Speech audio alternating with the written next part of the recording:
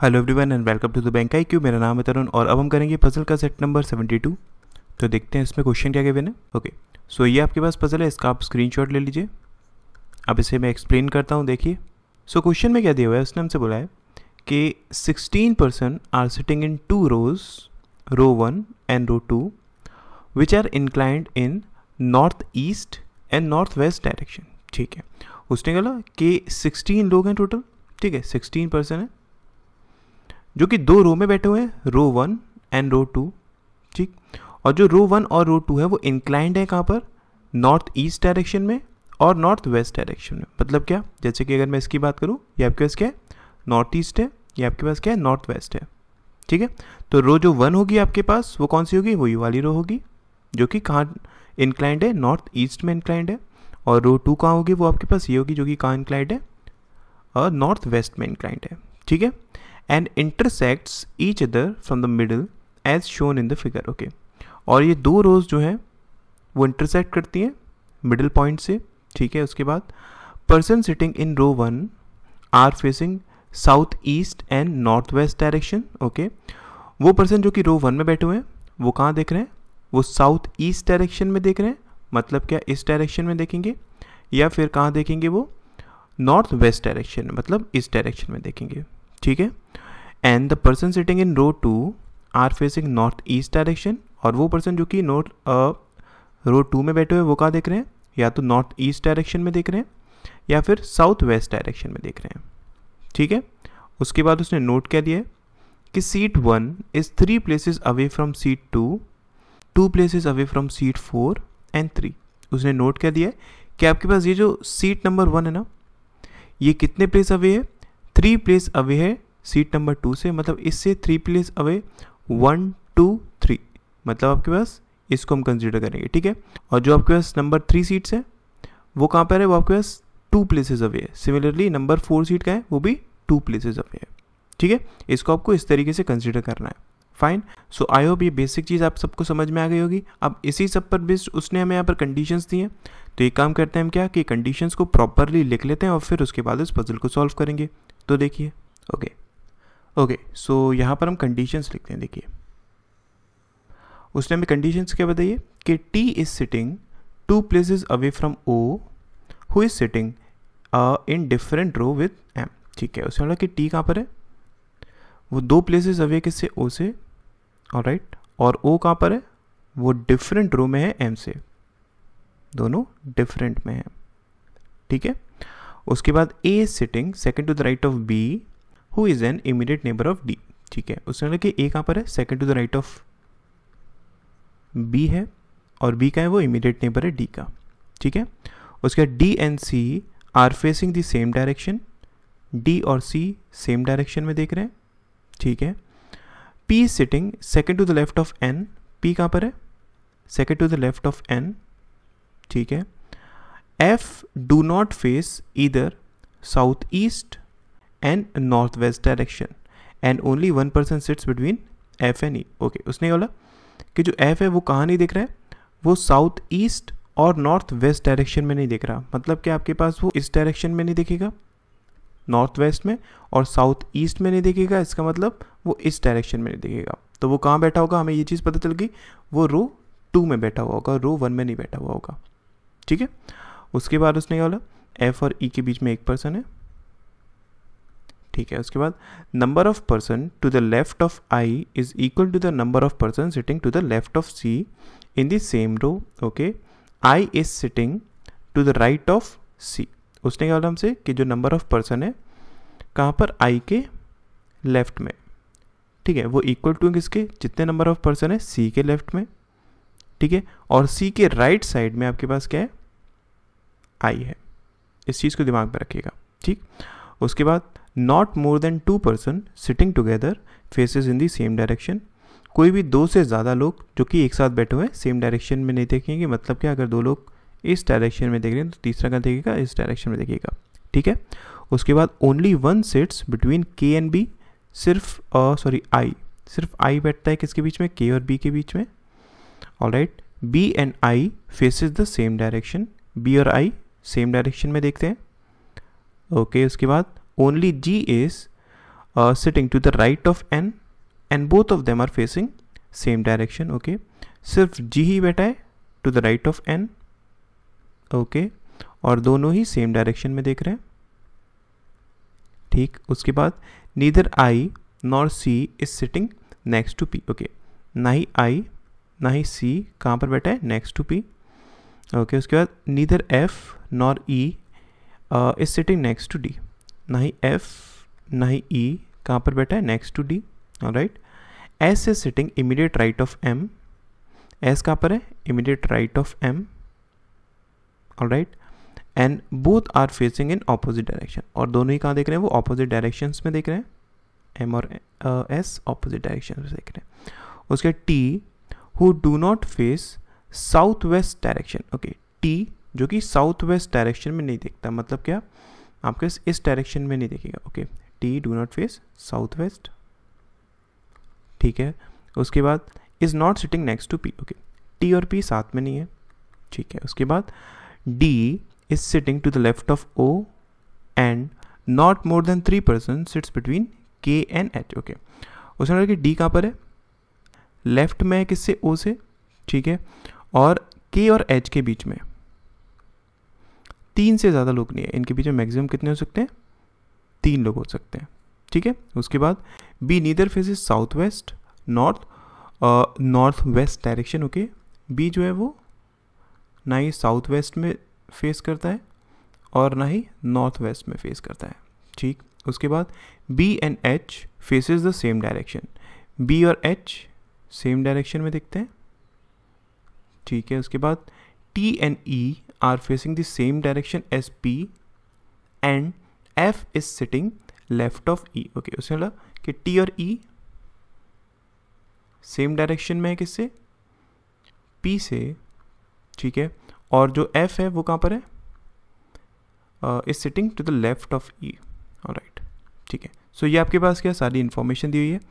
अब देखिए, इसका हम यूज़ किस तरीके से करेंगे? ओके सो so, सबसे पहले अगर मैं यूज़ करना चाहूँ देखिए उसने हमसे एक पॉइंट बोला था क्या? कि आपके पास जो आई है वो किसके बीच में? के और बी के बीच में। ठीक है?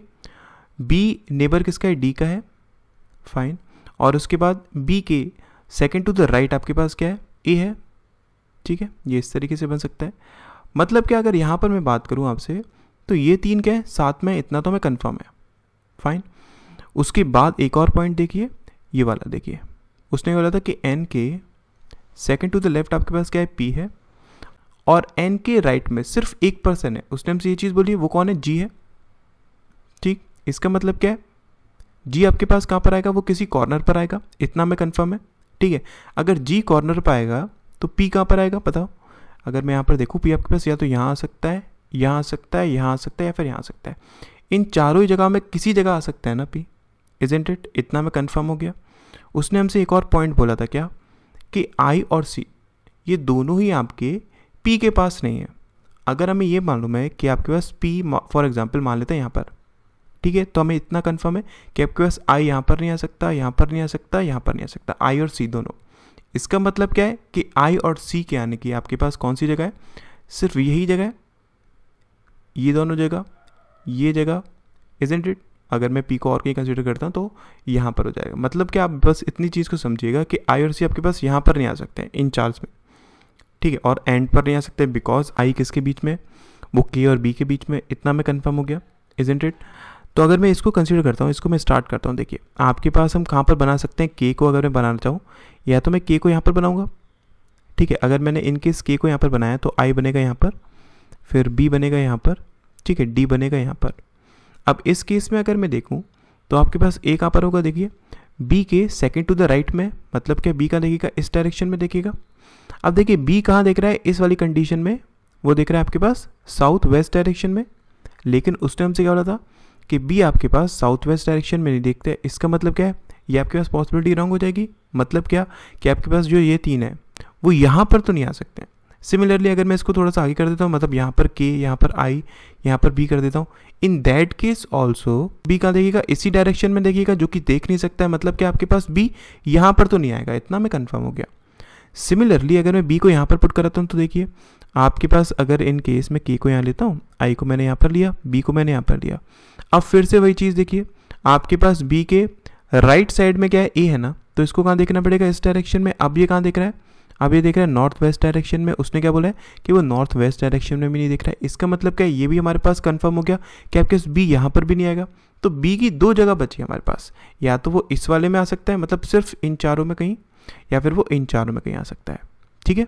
तो इससे हम पॉसिबिलिटीज़ चेक करेंगे। देखिए।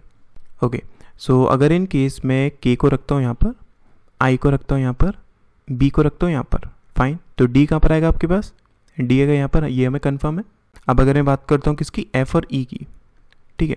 तो एफ़ और ई e आपके पास कहाँ पर आएँगे? वो इसी रो में थे, इतना हम जानते हैं, ठीक है? अगर एफ़ और ई e आपके पास इस रो में है तो देखिए, आपके पास एफ़ क्या यहाँ पर हो सकता है या फिर ई नहीं हो पाएगा बिकॉज़ वो डी के पास नहीं है, उसने हमसे ये चीज़ बोली है इज़ इन रेड यहाँ पर देखिए, है ना? तो इसका मतलब क्या है कि अगर मैं इसमें बात करता हूँ, आपके पास एफ़ ई या तो यहाँ पर आएँगे एफ़ ई या तो यहाँ पर आएँगे, ठीक है? आपके पास आई यहाँ पर है तो सी कहाँ पर होगा? यहाँ पर होगा। ठीक है। आई के लेफ़्ट में जितने नंबर ऑफ़ पर्सन उतने नंबर ऑफ़ पर्सन सी के लेफ़्ट में और सी के राइट साइड में क्या है आपके पास? आई है। ठीक? अच्छा अब इसके बाद अगर हम बात करते हैं, उसने हमसे एक पॉइंट बोला था क्या? कि आपके पास जो बी और एच है, वो सेम डायरेक्शन में देख रहे हैं। ये दोनों सेम डायरेक्शन में कब देख सकते हैं? जब ये सेम रो पर हो, तभी तो देख सकते हैं ना? इज़ इंट इट इसका मतलब क्या है कि इसके हिसाब से एच आएगा यहाँ पर? फाइन अब अगर हम बात करते हैं किसकी? एम और ओ की।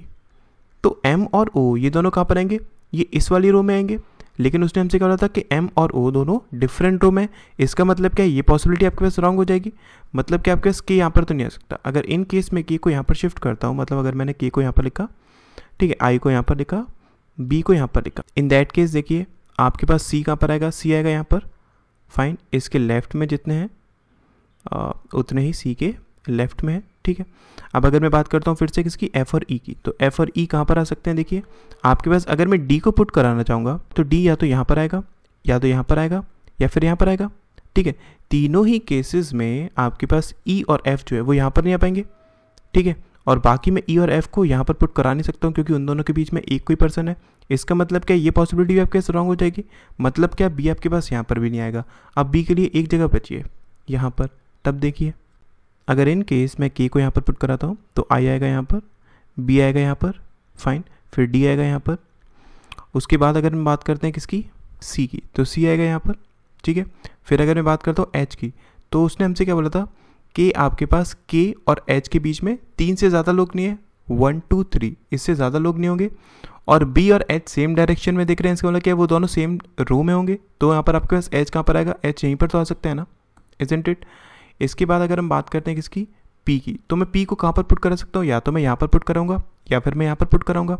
अगर इन केस मैंने पी को यहाँ पर पुट कराया, ठीक है? तो एन आपके पास यहाँ पर आएगा जी आपके पास यहाँ पर आएगा। फाइन फिर अगर मैं बात करता हूँ किसकी? एफ़ और ई e की तो उसके लिए आपके पास यही प्लेस बची। एफ़ और ई e आपके पास यहाँ पर आ सकता है, या फिर एफ़ और ई e आपके पास यहाँ पर आ सकता है। ठीक है? फिर अगर मैं पुट कराना चाहता हूँ किसको, उसने हमसे बोला था कि एम के इमीडिएट राइट में एस है। तो ये दोनों क्या?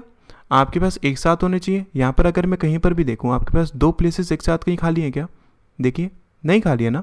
इसका मतलब क्या हो जाएगा? ये पॉसिबिलिटी रॉन्ग हो जाएगी। अगर मैं सिमिलरली आपका पी साइड बनाता हूँ, तब भी देख लीजिए कि के यहाँ पर है आई यहाँ पर है बी यहाँ पर डी यहाँ पर एच यहाँ पर सी यहाँ पर।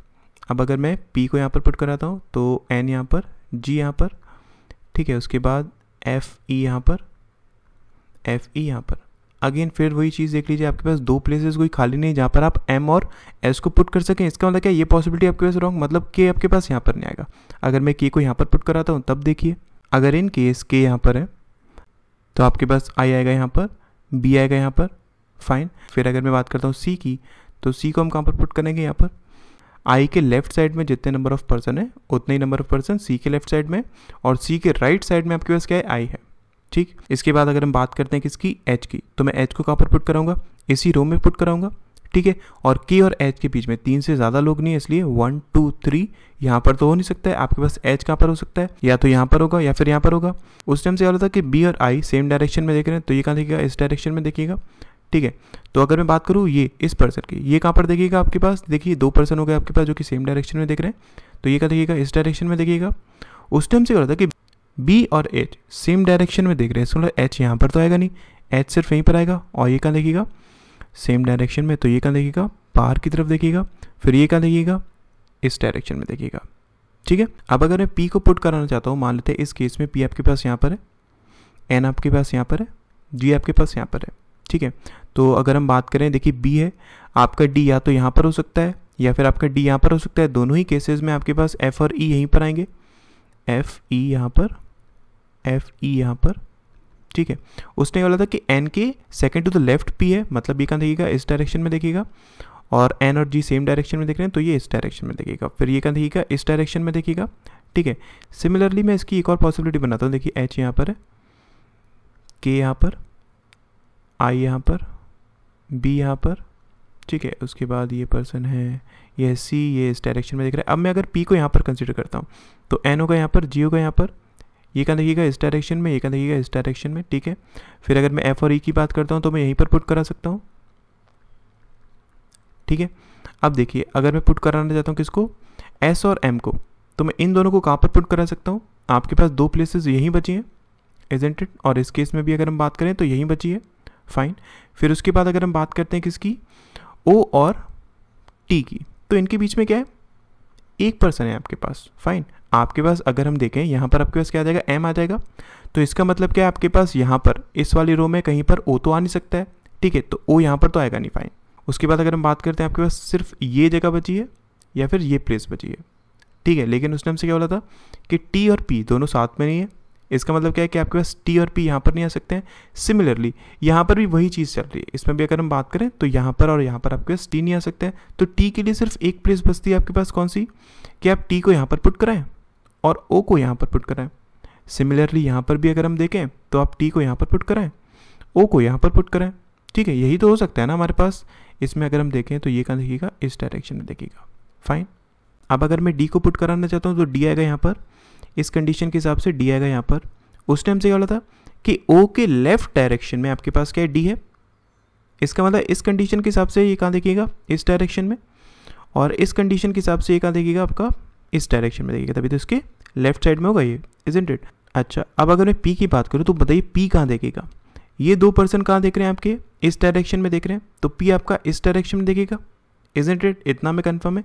सिमिलरली इसमें अगर हम बात करें तो पी का इस डायरेक्शन में देखिएगा इस डायरेक्शन में देखिएगा उस टाइम से क्या होता कि पी टी और ई सेम डायरेक्शन में देखते हैं, और ई e के लेफ़्ट साइड में आपके पास क्या एफ़ है?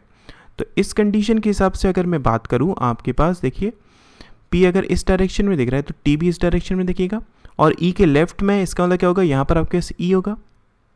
ठीक है? क्योंकि ये भी तो सेम डायरेक्शन में दिख रहा है ना, ये आपके पास क्या होगा? एफ़ होगा। ये कहाँ देखिएगा इस डायरेक्शन में देखिएगा ठीक है? लेकिन उस टाइम से एक पॉइंट बोला था क्या? कि जो आपके पास टी है, वो साउथ वेस्ट डायरेक्शन में नहीं देख रहा। मतलब कि अगर मैं यहाँ पर देखूँ, ये पॉसिबिलिटी आपके पास रॉन्ग हो जाएगी ना, ये कहाँ देख रहा है? साउथ वेस्ट डायरेक्शन में दिख रहा है। इसका मतलब ये आपके पास क्या हो गया? गलत हो गया। अगर मैं इसमें बात करता हूँ तो आपके पास देखिए, ये कहाँ देखेगा? इस डायरेक्शन में। अगर मैं ई e की बात करता हूँ तो ई e होगा यहाँ पर। ठीक है एफ़ होगा यहाँ पर। ये कहाँ देखिएगा इस डायरेक्शन में देखिएगा अब आपके पास क्या रह गया? अगर मैं बात करता हूँ तो ए रह गया है। देखिए बी के राइट साइड में आपके पास क्या ए है? तो मतलब यहाँ पर आएगा ए फाइन उसके बाद अगर मैं बात करता हूँ एस और एम की, वो आपके पास यहाँ पर आएँगे। ये दोनों अपोजिट डायरेक्शन में देखेंगे। अब आपके पास यहाँ पर एस और एम या फिर आपके पास एस और एम कहीं भी हो सकता है, इसकी पॉसिबिलिटी बन जाएगी। बाकी सब आपके पास सेम रहेगा ना? और यहाँ पर अगर हम देखें तो ये किस डायरेक्शन में? इस डायरेक्शन में देखिएगा सो ये बनेगी इसकी क्या? फाइनल पजल ठीक है? आई होप आपको अप्रोच समझ में आई होगी, जिस तरीके से हमने इसको अप्रोच करा है। Thank you so much